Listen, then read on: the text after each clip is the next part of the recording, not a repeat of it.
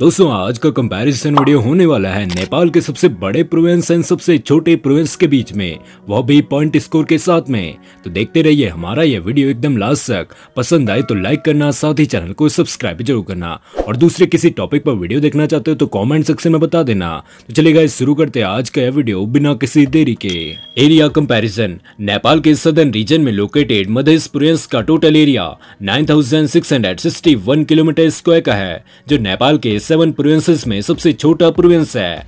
वहीं mid western Nepal में located Karnali province का टोटल एरिया 27,984 किलोमीटर स्क्वायर का है जो नेपाल के सेवन प्रोविंसेस में one of the largest province है। तो यह पॉइंट जाता है करनाली प्रोविंस को और इसको रोता है zero one population comparison Madhya province की टोटल पॉपुलेशन 2023 में 64 लाख के अराउंड है जो कि नेपाल का मोस्ट पॉपुलेटेड प्रोविंस है। वहीं कर्नाली प्रोविंस की टोटल पॉपुलेशन 16.9 लाख पीपल है, जो कि नेपाल का सेवंथ मोस्ट पॉपुलेटेड प्रोविंस है। तो यह पॉइंट जाता है मध्य प्रोविंस को, और स्कोर होता है one one religion percentage guys Madhya province में 84.75 percent Hinduism 11.55 percent Islam 3.01 percent Buddhism and दूसरे धर्मों के लोग रहते हैं। वहीं कर्नाली प्रोविंस में 95.34 percent Hindu 3.09 percent Islam 1.3 percent Christianity and दूसरे धर्मों के लोग रहते हैं। क्योंकि दोस्तों, नेपाल एक हिंदू मेजोरिटी वाला कंट्री है and according to Hindu population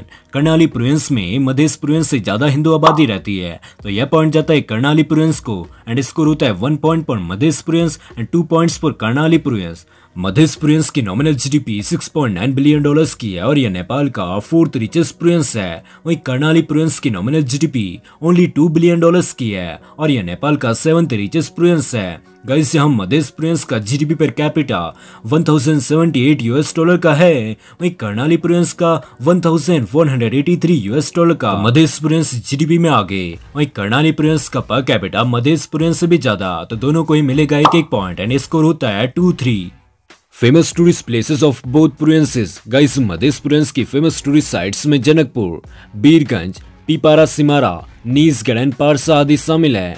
वहीं करनाली प्रोविंस की बेस्ट टूरिस्ट साइट्स में मूमा टॉप दे रारा लेक रारा नेशनल पार्क एंड साईपाल शामिल है। गाइस नेपाल में मध्य प्रोविंस की टूरिज़्म रैंक है नंबर टू वहीं Karnali province number six rank पर स्टैंड करता है। तो यह पॉइंट जाता है मध्य प्रोविंस को एंड स्कोर होता है थ्री थ्री कैपिटल है largest city guys Madhya province की कैपिटल है जनकपुर एंड लार्जेस्ट सिटी का नाम है बीरगंज। एंड दूसरी मेजर सिटीज़ में धनौषा।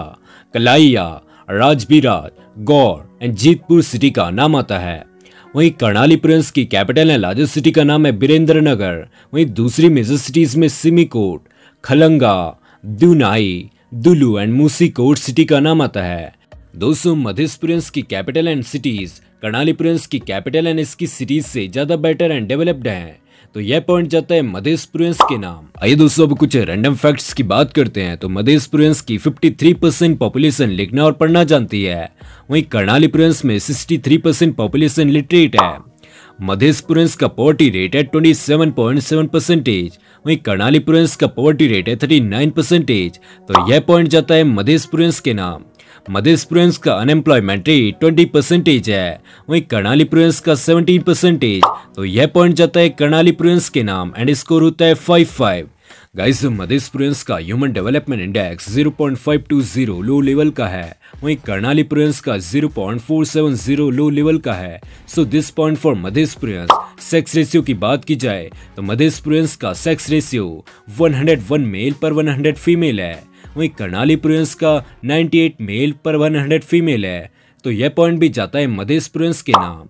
नंबर ऑफ़ डिस्ट्रिक्ट्स की बात की जाए तो मध्य प्रोविंस में जहाँ एट डिस्ट्रिक्ट्स है, वहीं कर्णाली प्रोविंस में टोटली टेन डिस्ट्रिक्ट्स आते हैं। तो यह पॉइंट जाता है कर्नाली प्रोविंस के नाम। And the final score is seven points for Madhya province and only six point for Karnali province. So today's winner is Madhya province of Nepal